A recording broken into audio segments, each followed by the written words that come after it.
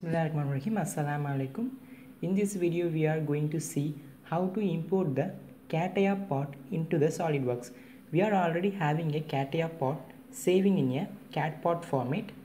Open the SolidWorks software, go to the file, click open. After selecting the open, we have to select a file type. We have to import a CATIA file part. So I am selecting a CATIA v5 cat part and cat product. So select a CATIA v5 part file and then click OK. After that we have to select a CATIA part which we are saving previously. So select a CATIA part and then click open.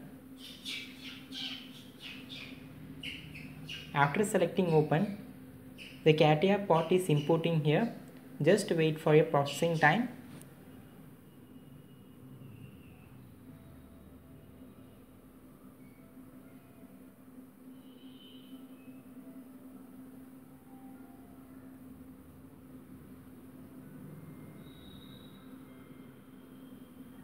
The file is processing now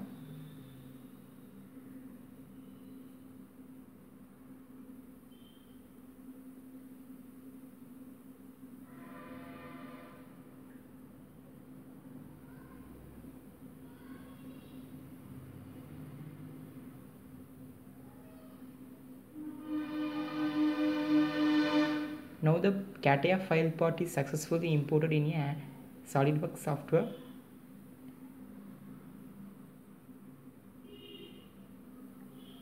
Now we can alter the part which we created here.